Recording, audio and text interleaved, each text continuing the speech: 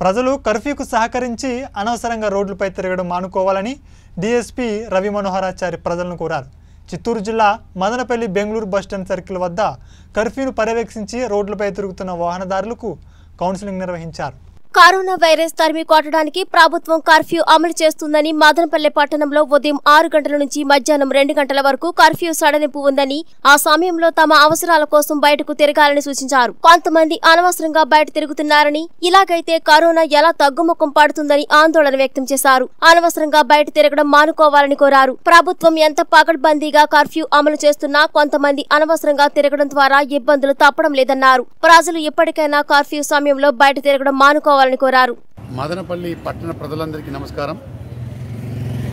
మన చిత్తూరు జిల్లాలో ప్రభుత్వం ప్రభుత్వం వారు లాక్డౌన్ను ఎనిమిది జిల్లాల్లో సడలించారు. అంటే సమయాన్ని పెంచుకున్నారు. రాత్రి తొమ్మిది వరకు. కానీ ఒక ఐదు జిల్లాల్లో ఎట్లా ఉందో అలాగే కంటిన్యూ అవుతుంది కర్ఫ్యూ. ఆ ఐదు జిల్లాల్లో ఒకటి మన చిత్తూరు జిల్లా. ఎందుకు చిత్తూరు జిల్లాలో ఉంది? మీరు ఒక్కసారి ఆలోచించండి. అంటే పాజిటివిటీ రేటు మన జిల్లాలో ఐదు కంటే ఎక్కువ ఉంది. మిగతా జిల్లాలో ఐదు కంటే తక్కువ ఉంది కాబట్టి అక్కడ కర్ఫ్యూ టైమింగ్స్ ఎన్హాన్స్ చేసి కర్ఫ్యూ టైమింగ్స్ తగ్గించారు. జనాలకు ఇంకా ఫెసి- ఫెసిలిటీ చేశారు. దయచేసి ప్రజలందరూ దీన్ని గమనించాలా? ఇది గమనించట్లేదు. ఏదో ఒక కారణం చెప్తారు ఏదో ఒక వాకింగ్ అంటారు ఏదో డ్యూటీ అంటారు ఇంకోటి ఏదో చెప్తారు. దీనివల్ల ఏమైపోతుంది? కర్ఫ్యూ మనకు వాయు మనకు పాజిటివిటీ రేట్ తగ్గకపోతే న్యాచురల్గా నీకు కర్ఫ్యూ ఇలాగే ఉంటుంది. ఇలాగే ఉందామా? మదనపల్లి పట్టణ ప్రజలందరూ కూడా ఒకసారి ఆలోచించండి.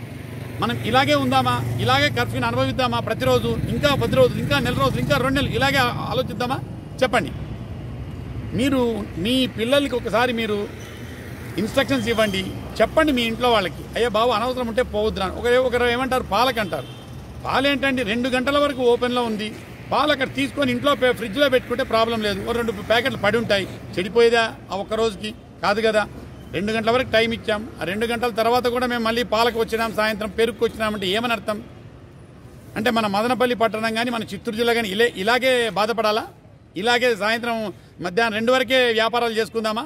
ఇలాగే మన బతుకులు ఇడుద్దామా మీరు సహకరించకపోతే ఎలా తగ్గుద్ది? ప్రజలు సహకరించకపోతే పాజిటివిటీ రేట్ తగ్గే అవకాశమే లేదు. మదనపల్లి కావచ్చు ఇంకోటి కావచ్చు ఇంకోటి కావచ్చు ఏదన్నా కావచ్చు. కాబట్టి దయచేసి అందరూ ఆలోచించండి. మనం పని ఉంటేనే బయటకు వద్దాం. అది ఎమర్జెన్సీ ఉంటేనే బయటకు వద్దాం. అంతే తప్ప ఏదో మనం ఈవినింగ్ వాకింగ్ పోవాలా పొద్దున షేకింగ్ పోవాలా అదేదో పాలకు పోవాలా పెరుక్కు పోవాలా కూరగాయలకు పోవాలా పండ్లకు పోవాలా ఏంటండి ఇది?